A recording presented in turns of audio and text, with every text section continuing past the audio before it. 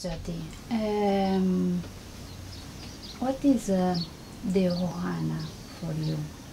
Ohana. Ohana. Mm. This concept. Okay, sure. So Ohana, of course, means family, Mhm. and um, this work, I believe, connects us with uh, what would be called the Ohana Nui. So I think there must be different definitions for Ohana Nui, but from my perspective and the perspective of the work, um, it's more than our human family.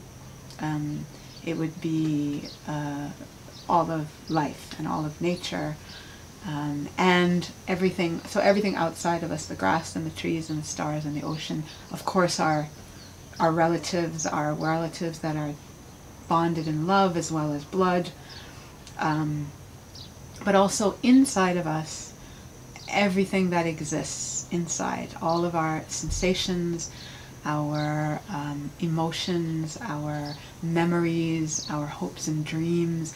Anything that could possibly come into contact i'm going to rephrase that. Anything that that we feel at any moment on any level becomes a member of our family. So kahu would say very similar things and he did in his video that every every moment of your life uh, contains um, every sensation every every desire uh, is all a member of your family. And so this tradition, of course, was pre-Christian, uh, was before, way before any Christian invasion.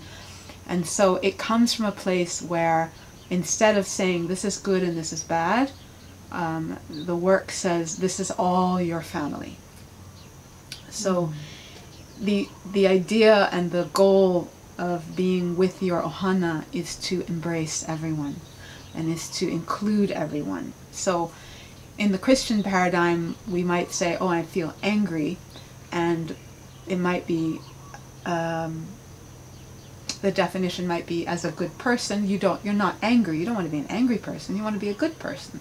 So we try to get rid of our anger, Right. or we try to get rid of our guilt, or we try to get rid of our sadness. And in this tradition, we say instead, come closer to me this member of my family, this anger, this sadness, this fear. Um, come closer to me and tell me what what it is that's going on with you. So I, I use the example a lot of times like a little child, eh, you know, if a little child goes outside and starts playing and something happens in the playground and they come back, we don't shut the door and say, come back when you're happy. We say, no, come, come in. What happened? Tell me. It's okay to cry, and what you know, tell me everything. And we hold them until they. It's free. This this feeling they have inside is free, and it's the same thing with our ohana. Um, our family is that we we bring them closer to us, and we ask them to unfold what it is they are are upset about. And in this way, that energy that was contracted and was held, it becomes free. And then we have the energy of that emotion, that sensation, that concern, that uh, fear.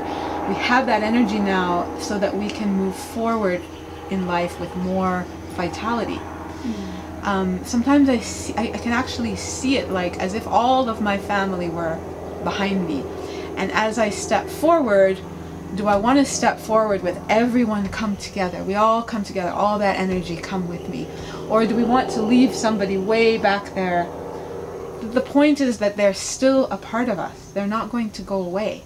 But I'm either dragging them by keeping them in the darkness, keeping them in a place that's bad and shouldn't be there, or I accept the fact that everyone is here.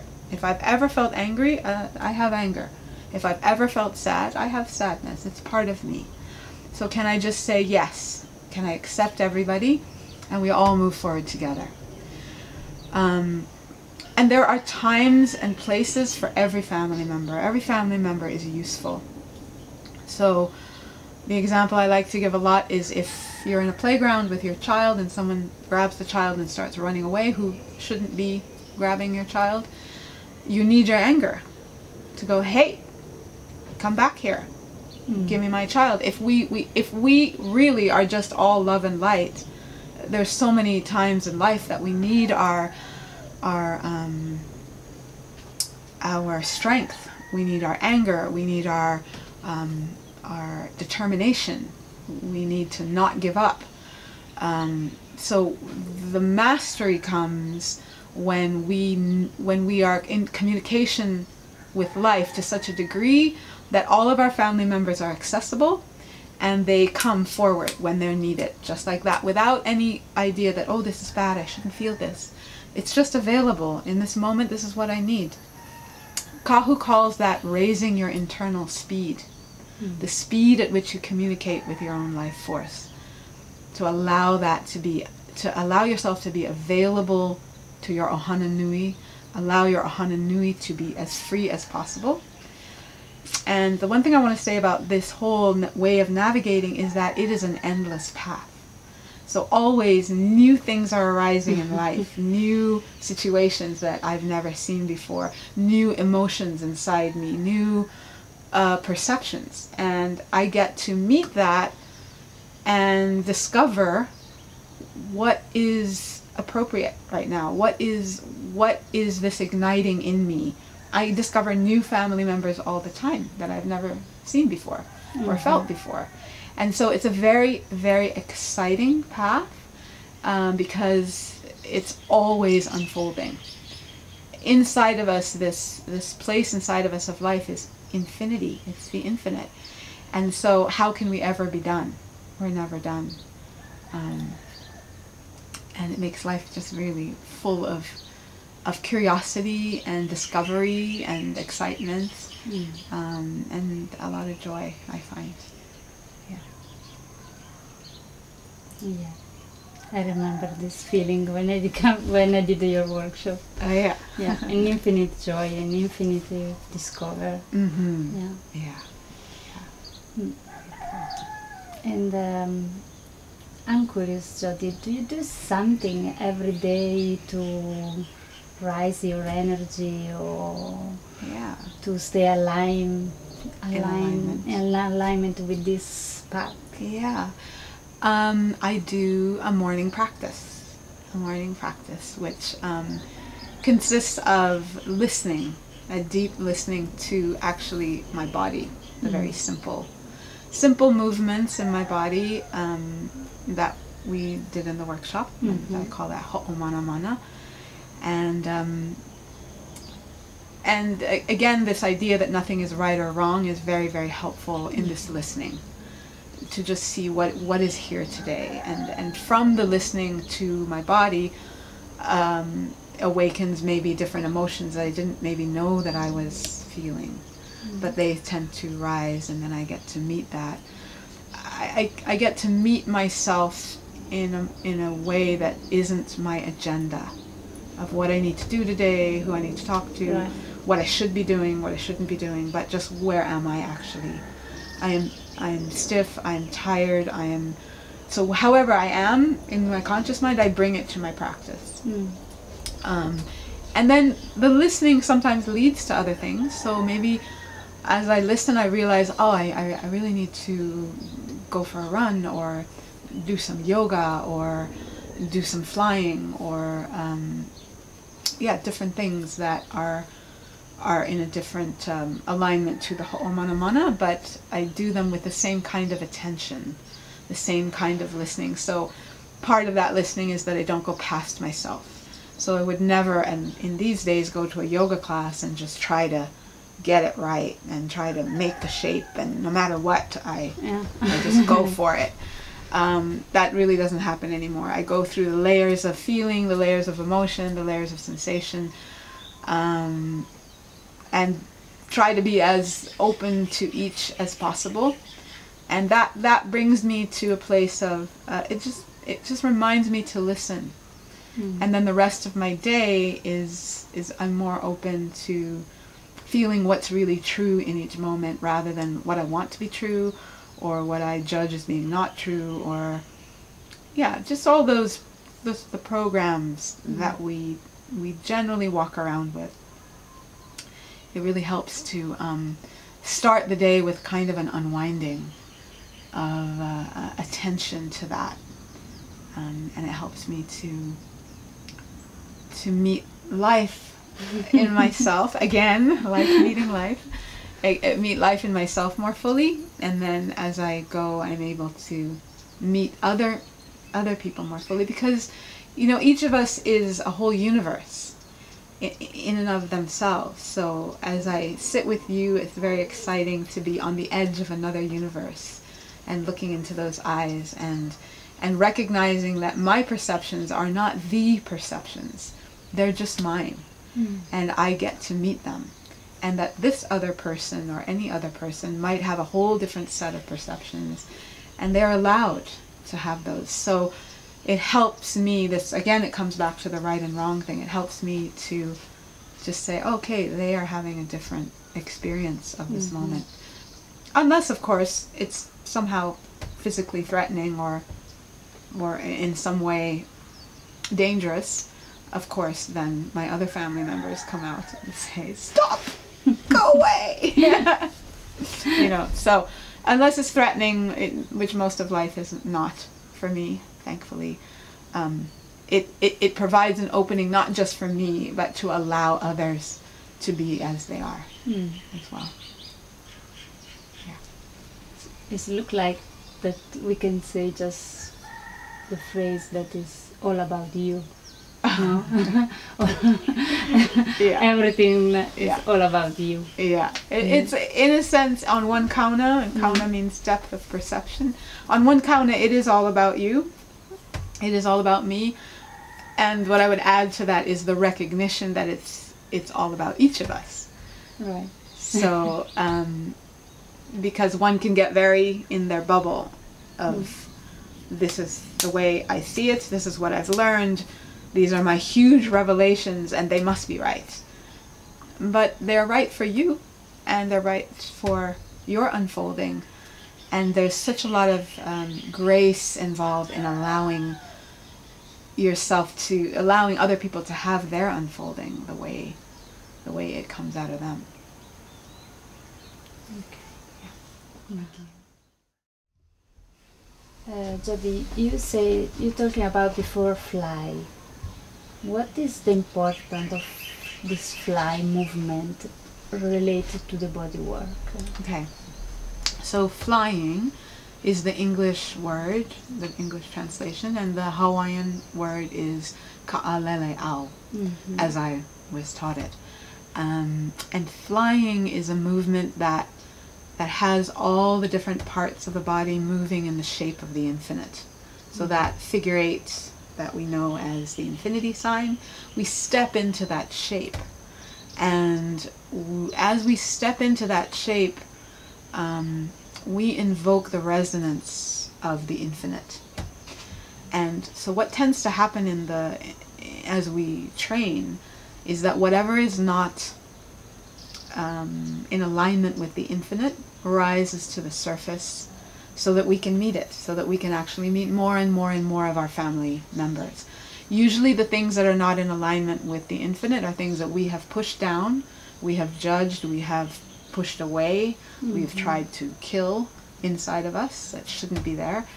Uh, old pain, old hurt, old trauma, and when we do the body work with um, without meeting these things that we have pushed down, it feels to me a little bit like I'm holding my breath. And then I try to do the body work, you know, trying to breathe as little as possible because I'm not um, expanding and moving with all of me. I'm, I'm moving with only a very limited part of me that is allowed.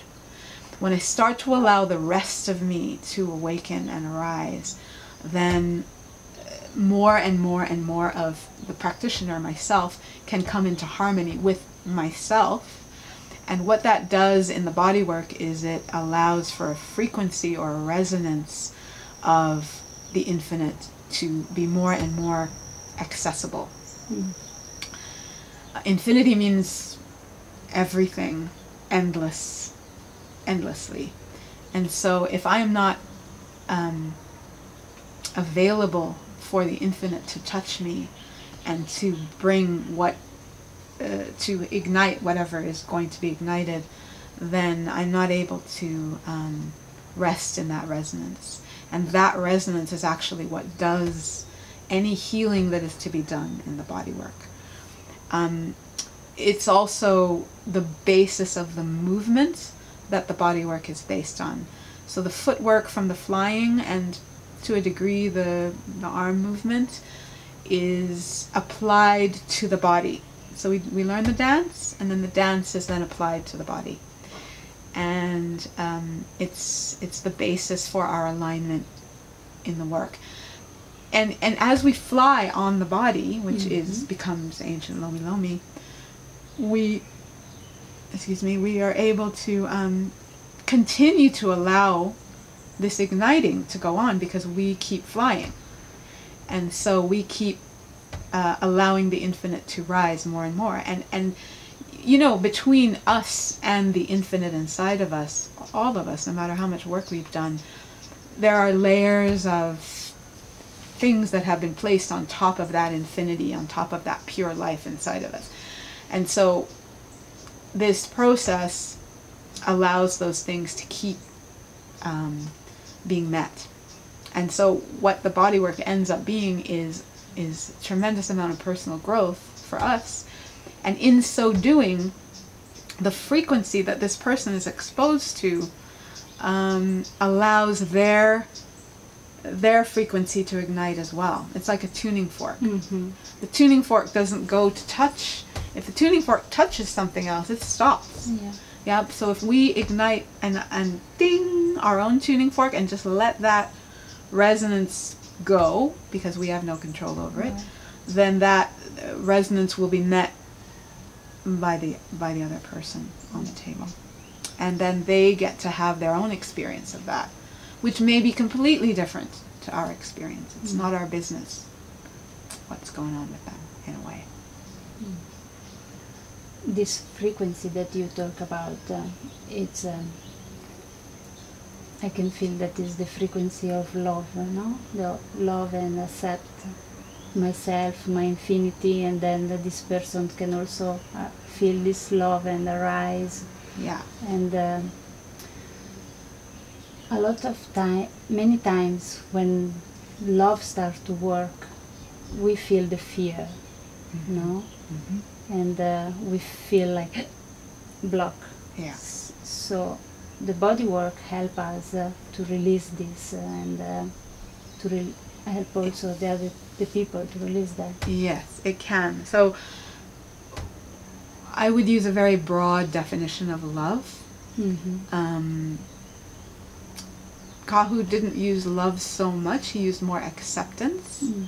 So if I accept everything, it it is it is similar to loving everything. yeah Um, the reason why I don't use love too much is because love has very strong definitions in people's minds. The way we've been taught what love is.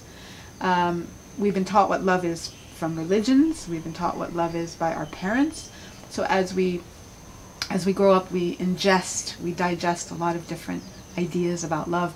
And one of the ideas that we ingest is that love is good, and love is kind, and love is um, love is like all these soft things. mm-hmm. But for me, I feel that love. There's a, a time when love, like you to be say, it, it, it yeah, it, it, it need it, it can bring up the fear that we need to face. Mm-hmm. and that is that is the most loving thing that this moment can do for you is to let you face your fear. And not to say oh let me take that fear away. That seems to be the more prevalent idea of love. Let me take things away for you so that you can only feel good. But this love is a deep deep unfolding of let me allow you to feel all more and more and more. I won't say all because we never can get there but feel more and more and more of who you are. And when we get introduced to these other parts of ourselves sometimes we don't like that. It feels very uncomfortable. Um, so this resonance this frequency um, yes i have found it to be a pathway to more and more acceptance of myself and more and more acceptance of others. Um, and a willingness to keep moving in that direction. Um, a willingness to come up to difficult places in myself and say yes to them and and be open to their unfolding. Um, and it, it, to me, the frequency is the pathway. When when I say Kealahoku, pathway to the stars, this frequency is the pathway, because actually, the stars live inside of us. You know, there is there is a website I can point you to that that breaks down the logic, actually chemically, how we are 93% stardust, humans. We're 93% stardust. So as we pay attention in this way, that that frequency of our origin on a different kauna, the stars would be known as our origin point. So in the Kumulipo, the Hawaiian uh, genealogical chant, origin chant, mm-hmm. it traces the origins of the people all the way back to the Pleiades, the stars. Um, but what are our deeper origins, the origin of us as a human being, um, it can also speak to that place. So that is that is the pathway. This frequency is the pathway.